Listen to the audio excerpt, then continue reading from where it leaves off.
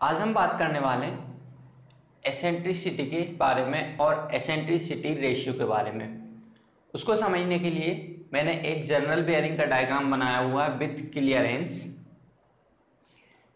बाहर बेयरिंग है, अंदर साफ्ट है और उन दोनों के बीच में लुब्रिकेंट भरा हुआ है। इसमें होता क्या है? स्टार्टिंग में साफ्ट स्टेशनरी कंडीशन में होता है। उस कंडीशन में क्या होता है? मेटल टू मेटल कांटेक्ट रहता है, यानी कि साफ्ट की आउटर पेरीफेरी बेयरिंग हाउसिंग को टच करती है। जैसे जैसे साफ्ट की स्पीड बढ़ती है रोटेशनल मोशन बढ़ता है तो लुब्रिकेट का प्रेशर बढ़ना भी स्टार्ट हो जाता है। ये लुब्रिकेंट हम फिल करते हैं एटमॉस्फेरिक प्रेशर पे। जैसे जैसे साफ्ट की स्पीड बढ़ती है, उसका प्रेशर बढ़ना भी स्टार्ट हो जाता है। और होता क्या है, जैसे जैसे स्पीड बढ़ती है तो ये लुब्रिकेंट जो रहता है, उसकी क्वालिटी होती है, ये स्टिकी फ़िल्म में कन्वर्ट हो जाता है। स्टिकी फ़िल्म में कन्वर्ट होने की वजह से जैसे ये वाइडर रेंज से नैरो रेंज में आता है तो इसका प्रेशर बढ़ता जाता है। जैसे जैसे स्पीड बढ़ती है तो ये साफ्ट क्या होती है, उस वजह से प्रेशर जनरेट होने की वजह से लिफ्ट करना स्टार्ट कर देती है। और साफ्ट के सेंटर और बेयरिंग के सेंटर के बीच की जो दूरी रहती है, वो एसेंट्रिसिटी कहलाती है। तो आज हम फॉर्मूला कैलकुलेट करने वाले हैं एसेंट्रिसिटी को कैलकुलेट करने के लिए। यहाँ पे मैंने लिखा हुआ है बेयरिंग के सेंटर ओ और साफ्ट के सेंटर के बीच के बीच की दूरी है। एसेंट्रिसिटी ई से शो किया है। ओ वन से पेरीफेरल तक रेडियस है साफ्ट की और ये मिनिमल थिकनेस है कि साफ्ट जब मैक्सिमम स्पीड में घूम रहा होता है या फिर जिस स्पीड में हम रोटेट करवाना चाहते हैं उस हिसाब से ये थिकनेस ऑफ़ मिनिमम फ़िल्म बढ़ती है या घटती है।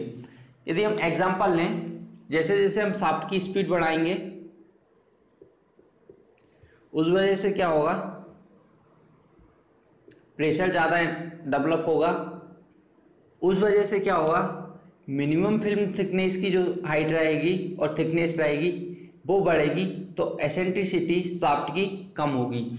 यानी कि centre of bearing and centre of shaft के डिस्टेंस बीच की जो डिस्टेंस रहेगी, वो कम होती जाएगी। ये एक रीज़न है, जैसे जैसे प्रेशर इंक्रीज होता है स्पीड इंक्रीज होती है प्रेशर बढ़ेगा तो ये मिनिमम स्टिल थिकनेस की मिनिमम फ़िल्म थिकनेस बढ़ेगी और एसेंट्रिसिटी कम हो जाएगी। दूसरा क्या कारण होता है? जैसे जैसे साफ्ट लोड इंक्रीज होता है लोड इंक्रीज होगा उस वजह से क्या होगा? मिनिमम फ़िल्म थिकनेस घटेगी और एसेंट्रिसिटी बढ़ेगी। तो ये काफ़ी सारे रीज़न होते हैं कि एसेंट्रिसिटी बढ़ सकती है एसेंट्रिसिटी घट सकती है। अब एक और रीज़न ले लेते हैं। यदि हम रीज़न लें बिस्कोसिटी यदि लुब्रिकेंट की बिस्कोसिटी ज़्यादा है तो क्या होगा? जो मिनिमम फ़िल्म थिकनेस है, वो भी ज़्यादा होगी।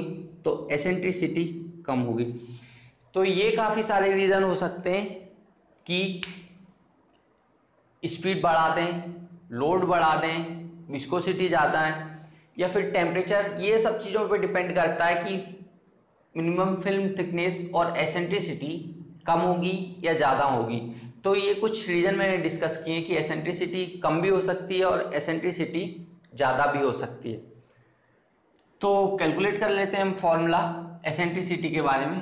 यदि हम टोटल डिस्टेंस की बात करें ओ से आउटर पेरीफेरी तक तो ये रेडियस होगी बियरिंग की, जिसे मैं आर वन से शो कर रहा हूँ। R one is equal to O से ओ वन होगा एसेंट्रिसिटी प्लस ओ वन से आर होगा साफ्ट की रेडियस प्लस ये होती है मिनिमम थिकनेस कुछ बुक्स में इसे इसे एच से शो करते हैं और कुछ बुक्स में इसे एच नॉट से शो करते हैं। तो हम एच से शो कर रहे हैं इसको तो एसेंट्रिसिटी का फॉर्मूला हो जाएगा R one minus R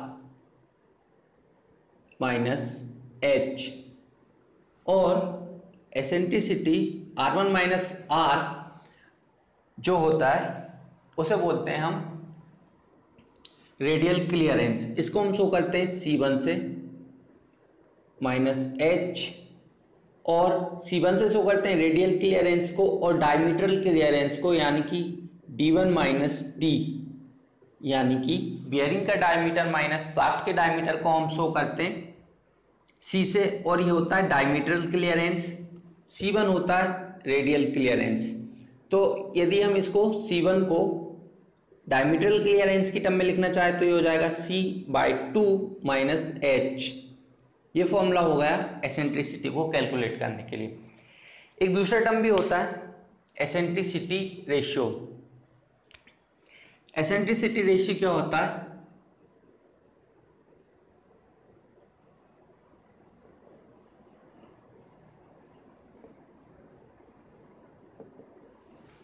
eccentricity ratio को हम एटीट्यूड भी कहते हैं।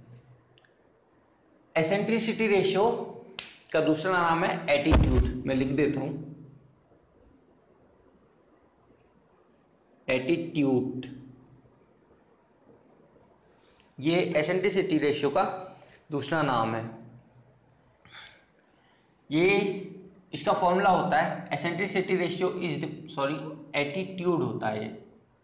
Eccentricity ratio is defined as the ratio of eccentricity to the radial clearance यानी कि eccentricity ratio is defined as the ratio of eccentricity eccentricity का फॉर्मूला होता है C by two minus H by C by two और यदि हम इसको सी one की टर्म में लिखना चाहें, यानी कि रेडियल क्लियरेंस की टर्म में लिखना चाहें तो ये हो जाएगा सी वन